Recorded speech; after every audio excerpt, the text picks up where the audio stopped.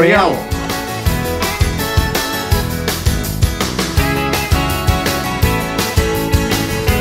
ของกินอร่อยอร่อยอยู่ที่ไหน รายการร้านเด็ดประเทศไทยจะไปตามหากราบสวัสดีครับผมนะฮะแฟนคลับชาว Work ช่อง Point Work Point 23นั่นเองนะครับผมครับผม เช้าๆแบบนี้ ฮะกับร้านเด็ดประเทศไทยครับ ทุกวันจันทร์ถึงศุกร์9โมงเช้า เวลากำลังแบบหิวเลย กำลังหิวแล้วก็พยายามอยากจะดูรายการเราแฟนๆรายการขอบคุณมากเลยนะฮะขอบคุณเช่นกันครับแฟนๆรายการเยอะมากเลยตอนนี้ ใช่ครับแล้วก็เจอกันจะทักทายอุ้ยดูประจำเลย อ่าฮะ 10โมงครับผมดูพี่ท็อปฮะรายการอะไรวะ ดูเลยรายการเราไปแล้วไม่เป็นไร แต่ดูช่อง Workpoint ก็พอนะเอฮะ อแต่ก็ไม่รู้ว่าจะกินอะไรวันนี้มาดูเราแล้วกัน ดีครับ เราอยู่จังหวัดใกล้ๆกรุงเทพมหานครของเรานี่ก็คือ สมุทรปราการฮะ หรือว่าเรียกอีกอย่างก็คือเทพารักษ์ ครับก็แยกนี้เลยแยกเทพารักษ์อืมแล้วก็ซ้ายมือมานิดนึง ตรงมานี่200 เมตรครับร้านอยู่ซ้ายมือเลย อ่าฮะส้มตำดนตรีครับผมอยู่ร้านมานานกว่ากี่ปี 27 ปี เชื่อครับผมเพราะว่ารูปลักษณ์อาคารร้านก็ดูวินเทจแล้วสไตล์เหมือนสไตล์นี้นะ เรามองตอนแรกคล้ายๆกับปอกุ้งเผา อารมณ์นั้น เอออารมณ์นั้นเราเรามีความรู้สึกแบบนั้นครับนะฮะแต่ไม่รู้ว่าใช่หรือเปล่าข้างใน อะแต่เข้าอาไปดู หารอร่อยแน่นอนเปล่าส่งจุ๊บเฉยๆเอา ไปอุ๊ยมีบ่อด้วย มีบอร์ดอุ้ยเห็นบอร์ดไม่ได้เลยนะเออเห็นน้ำบุดๆไม่ได้เลยพี่บอยชอบชอบ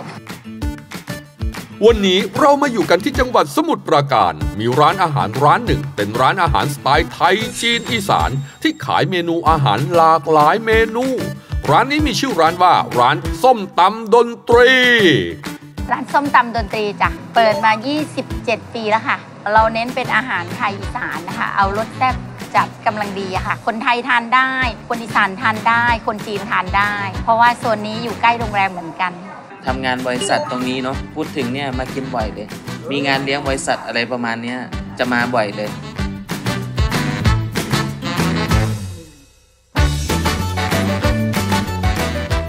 พี่ทำเองเลยเหรอโหเก่งจังเลยอะโอ้ยาวมาถึง20 27กว่าปีปี27 ปีเลย เริ่มจากศูนย์นะคะ เริ่มจากเรื่องจากศูนย์ ตอนนี้ลบหนึ่ง ตอนนี้ก็เป็น 10 แล้ว แต่ตอนนี้ลูกน้องกี่คนร้อยกว่า ประมาณประมาณเริ่มทำคนเดียวจนตอนนี้ร้อยกว่า ไม่ธรรมดา ไม่ธรรมดา ชิมอาหารดีกว่า สุดยอดคขรัอบบคุณครับเฮ้ย เอาตามอยู่เนี่ย เรานะเริ่มตอนเนี้ยอยู่นี่หมูทอดจิ้มแจ่ว4คน เดี๋ยวดู2ปี เป็นยังไงฮะ โอ้ยร้านปิดตั้งแต่ปีแรกแล้ว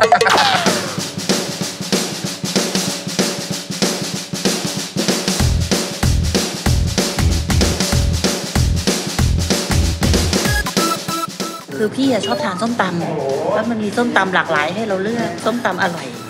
อร่อยมากค่ะมาร้านส้มตำดนตรี เมนูที่ขาดไม่ได้ก็คือ เมนูส้มตำซีฟู้ด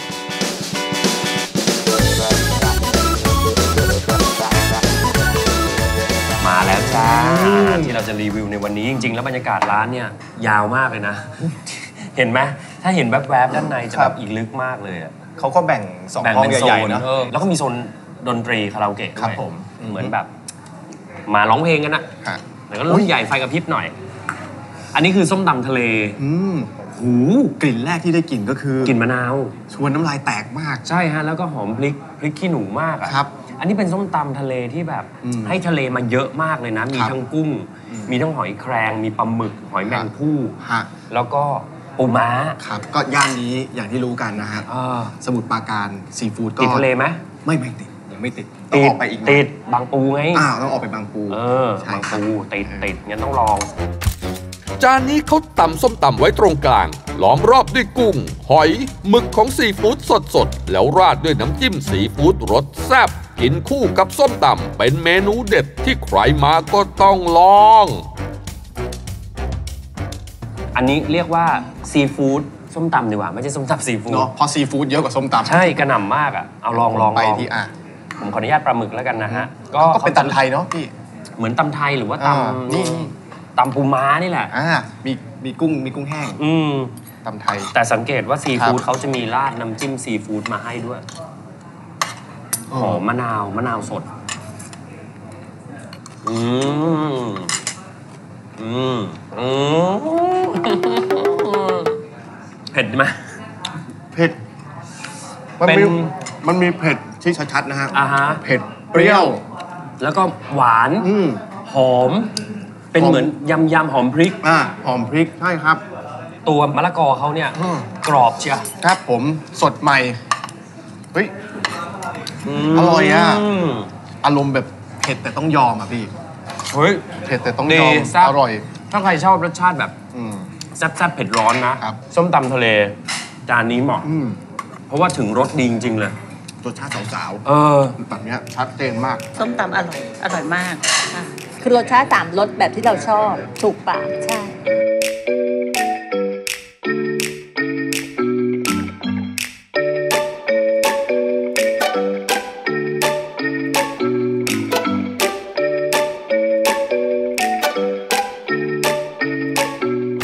ำหรับการเดินทางมาร้านส้มตำดนตรี พิกัดร้านอยู่บนถนนเทพารักษ์ฝั่งมุ่งหน้าบางพลีติดสี่แยกเทพารักษ์เลยนะครับ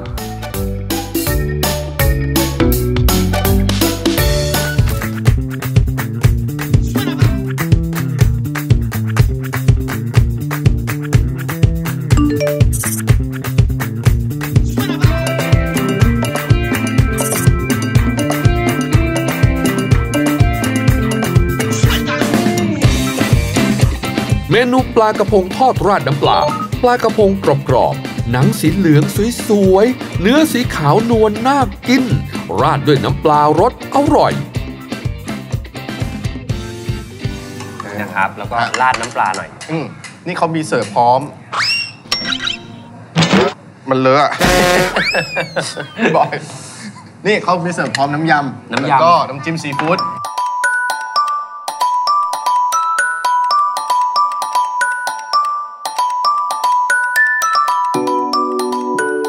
ากระพงทอดน้ำปลาที่ร้านเราจะใช้ปลากระพงสดๆเลยนะคะ พอดีปลากระพงเป็นปลากระชังบางปะกงค่ะ เราก็มาทอดในน้ำมันร้อนๆให้มันฟูๆ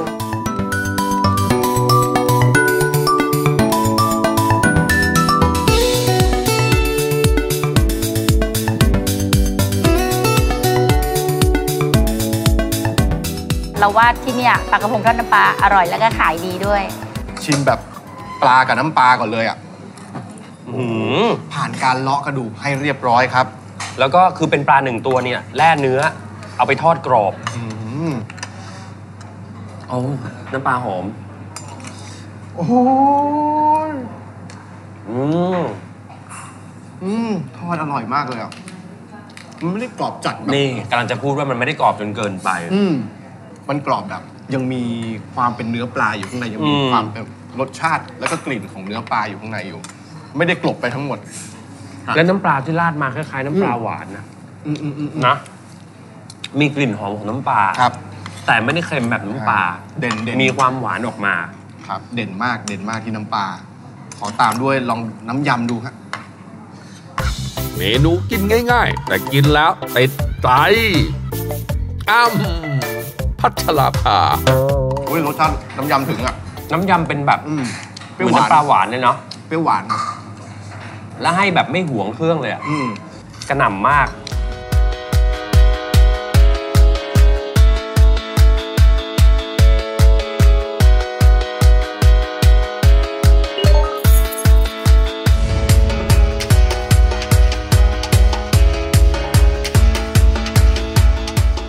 อาหารที่นี่นะ ครับ จัดจ้าน รสชาติจัดจ้าน คือไม่กักไม่ห่วงแล้วว่า อืม น้ำจิ้มซีฟู้ดยังแบบเอา อืมแล้วก็เป็นจัดจ้านที่ครบรสด้วยนะ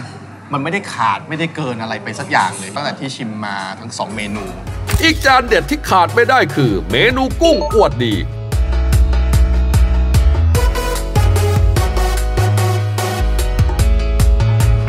มาอืมอุ้ยปลาโลมาอะไรอะปลาโลมาทำอะไร กุ้งปลาโลมาบ้าเลยเรามาอยู่ในนี้ กุ้งคลุกฝุ่นไม่ใช่อะไรนะ กุ้งอวดดี อ๋อ กุ้งอวดดี อืม ไปเอามาจากไหนมากุ้งคลุกฝุ่น เออ หมูมาจากหมูคลุกฝุ่นอ๋อเหรอ ใช่กุ้งอวดดีทำไมต้องเป็นกุ้งอวดดีเฮ้ยให้ผมสันนิษฐานไหมว่าผมคิดว่าน่าจะเป็นเรื่องของขนาดไซส์มาอวดของดีเหรอเอ้ยมีสิทธิ์นะ อยากรู้ว่าดียังไง ไปฟังที่เจ้าของร้านแกเลยครับ กุ้งอวดดีเนี่ยเป็นเมนูประกวดชนะสารกลางเลยนะ ชนะจังหวัด เพราะว่ามันเป็นสมุนไพรสดค่ะ มีขิง มีมะนาวสด มีตะไคร้ทาน แล้วมันก็ได้อารมณ์สดชื่น มันเป็นสมุนไพรสดหมดเลย เมนูนี้เป็นเมนูที่ได้รับรางวัลการันตีมาแล้ว สุดยอดจริงจริงๆคล้ายๆปลาทอดสมุนไพรไหมใช่ เพราะว่ามีเครื่องสมุนไพรนี่น่าจะเป็นแบบเป็นสูตรเดียวกับที่ใช้กับปลา แต่ว่าอันนี้มันเพิ่มพริกแห้งเข้ามา แต่กุ้งตัวใหญ่มาก ใช่ครับเป็นกุ้ง tiger prawn tiger prawn กุ้ง อะไรนะ ลายเสือลายเสือ ใช่ไหมฮะ เป็นกุ้งลายเสือตัวใหญ่อืมพอสมควรนะฮะ จะบอกว่าพอดีคำมันก็เกินไปเนาะไม่พอดีอะโอปลาเวอร์คุณใหญ่มาก เกินหนึ่งคำแต่ว่าเพื่อความซึมซับฮะอืมอืมอืมอืมอืมเนื้อกุ้งแน่นหอมไปด้วยสมุนไพร บอกได้เลยว่ามาตรฐานเดียวกันหมดในเรื่องของรสชาติ ครับ ยังไม่มีจานไหนแบบขาดหรือเกินนะน้ำยำกำลังเขา ดีกำลังดี น้ำยำราดเข้ามานี่เขาเข้มข้นเหลือเกินนะอืม เข้มข้นที่แบบว่ามันทำให้แบบรสชาติมันอืมมันดีงามแล้วมันก็กรุบๆไปด้วยไอ้ตัวเครื่องสมุนไพร เครื่องสมุนไพรแล้วก็กุ้งแห้ง เป็นอืมกุ้งแห้งทอดตัวเล็กอืม ทอดมานะฮะแต่คุณภาพของเนื้อกุ้งนี่ยกนิ้วให้ครับ อืม ดีมาก ๆ ครับ เนื้อแน่นหอมหวาน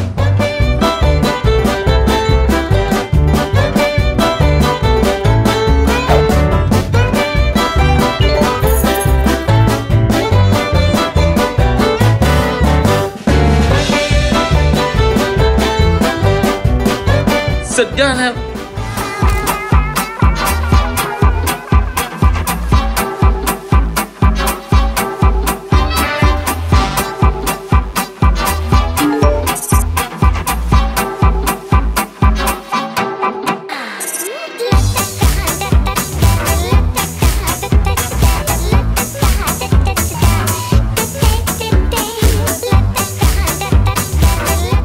เมนูแกงส้มปูนิ่มชะอมทอดดอกขจร ดอกขจรจะให้ความมันเขียวแล้วเพลิน กินกับแกงส้มปูนิ่มชะอมทอดได้อย่างลงตัว รสชาติจัดจ้านถึงใจ อันนี้เป็นแกงส้มปูนิ่มดอกกระจร อ๋อ เป็นมาหม้อไฟไซส์ใหญ่นะนี่นี่ว้านี่วเป็นปูนิ่มที่ใหญ่มาก เออ อันนี้คือทานได้ทั้งตัวเลยนะฮะ ทั้งเปลือกทั้งขาทั้งทุกอย่างโอ้โหก็เป็นนี่คือเหมือนเป็นดอกเหมือนขจร นึกถึงแกงส้มชะอมไข่แหละ อืม แต่ใส่ดอกขจรแล้วครับก็แล้วก็มี ปูนิ่มทอดมา ครับผม เข้าใจทำอะ ไอเดียดีจังเลย ไอเดียดีนะ 27 ปีอะเนาะเรื่องรสชาติน้อยล้านมากในจะเอาดอกขจรมาทำอะ เพราะอะไรครับ อาจจะแบบเรื่องของวัตถุดิบบางหาทียาก หายากหน่อยนะ แล้วก็ ไม่กล้าที่จะแตกต่างบางที่ แกงส้มก็เออเพื่อสุขภาพดอกขจรเนี่ยไม่ได้มีทั้งปีนะคะ มีตามฤดูกาลเท่านั้นอาจจะขาดหายสักสองสาเดือน แต่ว่าวันนี้มีดอกขจรปูนิ่มมันก็กลมกล่อมดีอะรสชาติมัน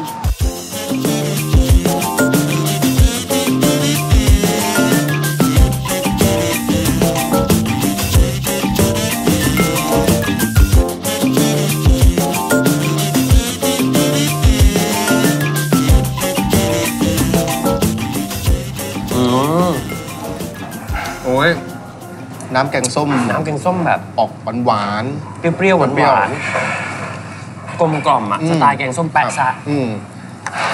โอ้โหทานกับข้าวสวยร้อนๆนี่ชนะแล้วเนื้เลิอศปูแน่ก็ดีๆนี่นี่นี่มันเข้ากันดีเลย กินมันซะทั้งตัเหวมือนเลยนะคือตัวปูนิ่มเองเวลาเอาไปทอดชุบแป้งทอดอะอืมแล้วก็เอามาลงใส่ในแกงเนี่ย ตัวแกงส้มมัน มันซึมเข้าไปในเนื้อไงอืมแล้วเวลากัดมันฉ่ำมันชุ่มจริงครับ พูดอะไรวะมันฉ่ำมันชุ่มมันชุ่มชุ่มมันฉ่ฉ่ำอืมำดีหมดเลยอะสี่อย่างที่เรากินอะ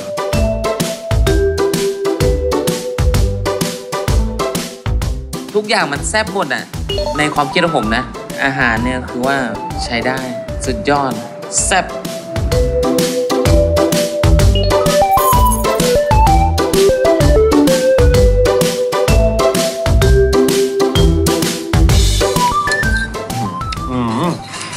คุณภาพไม่มีตกเลยแต่ละจานวัตถุดิบที่ใช้มานี่ใช้เกรดดีๆทั้งนั้นเลยอะต้องบอกว่าคุณดนตรีเนี่ยครับเขาเกิดมาเพื่อสิ่งนี้จริงๆนะอืมเขาเป็นเจ้าของร้านเขาเริ่มต้นตั้งแต่ทำคนเดียว ครับจน 27 ปีผ่านไปตอนนี้ลูกลูกน้องเป็นร้อย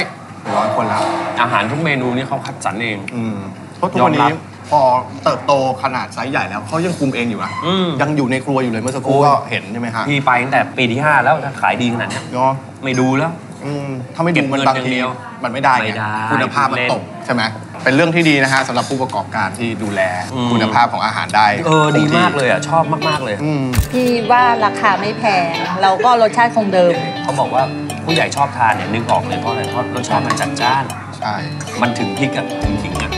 สี่เมนูนี้คุณให้เมนูอะไรอืมผมขอย้อนไปเมนูแรกเลยแล้วกัน ส้มตำทะเล ส้มตำทะเลชอบชอบมัน เพราะว่า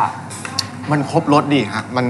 มันพอดีทุกอย่างเลยทั้งเผ็ดเปรี้ยวหวาน แล้วมันได้อารมณ์ตรงที่ว่าเขาจัดจานมาดูดี แล้วเครื่องรอบข้างเนี่ย มันเยอะ วัตถุดิบที่ใช้ก็ดีเยี่ยม ก็คือกระหน่ำซีฟู้ดมาแหละ โอ้โห ผมชอบซีฟู้ดอยู่แล้วด้วย ยิ่งเจอแบบนี้ถูกใจเข้าไปใหญ่ผมก็ชอบนะ มันมีความหอมของตัวพริกอ่าฮะมันเผ็ดแต่มันสามารถไปต่อได้ ใช่ ไม่ได้แบบทุรนทุรายแล้วพี่บอยอะชอบอะไรมากที่สุด ผมให้แกงส้ม ผมชอบแกงส้มอืมเพราะว่าแกงส้มเนี่ยมันละมุนมากครับ ผมชอบในเรื่องของการเอาปูนิ่มเนี่ยอือฮึ มาทอด ครับ แล้วก็เอามาเป็นเนื้อสัตว์ที่อยู่ในหม้อ แล้วดอกขจรเนี่ยมันรสชาเข้าติกันดีเหลือเกิเซอร์ไพรส์ด้วยนไหม ใช่ แล้วดอกคอนจอมันกรุบกรึบกรุบกรึบอะอ่ามัมันแบบอืมดีงามเหลือเกินนะผมอยากอยากให้เห็นภาพที่เป็นเป็นที่ยังยังไม่ได้อยู่ร้านเลยใช้นี่ใช้ดอกกระจรไม่ค่อยเห็นร้านใช้กระดอกกระจรเท่าไหร่ เนอะแต่ร้านนี้ใช้ ดูแล้วก็ไม่ค่อยรู้สาเหตุอะเนาะมันเพราะอะไรว่าไม่ค่อยได้ใช้ แต่ว่า จะอร่อย แต่พอใช้ปุ๊บก็ถูกใจเลยอะ มี t e x t อร์เวลากัดเข้าไปมันจะกรุบกรับกรุบกรับอืมโอ้ยลองเถอะครับนะ ส้มตำดนตรีเปิดตั้งแต่ 10โมงครึ่งครับถึง5ทุ่มกว่าอือฮึๆนะฮะ ก็การันตีด้วย 27 ปีที่ผ่านมาครับผม ไม่ให้ไม่ได้ครับเอามาเลยครับ ร้านเด็ด ประเทศไทยครับร้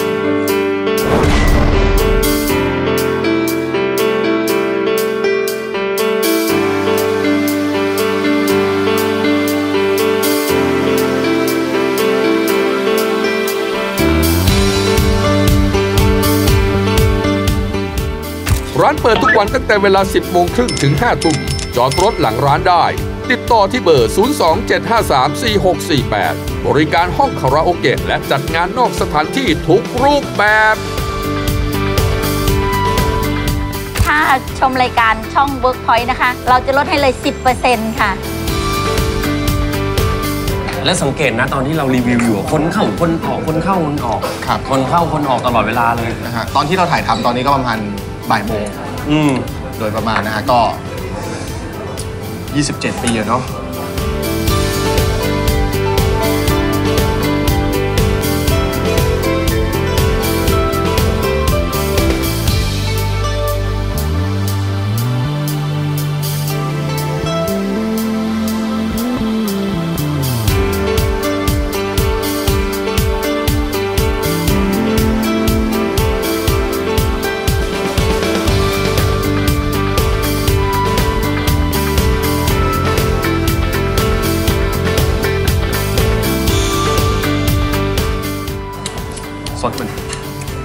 อบเนี้ยกินแล้วแบบ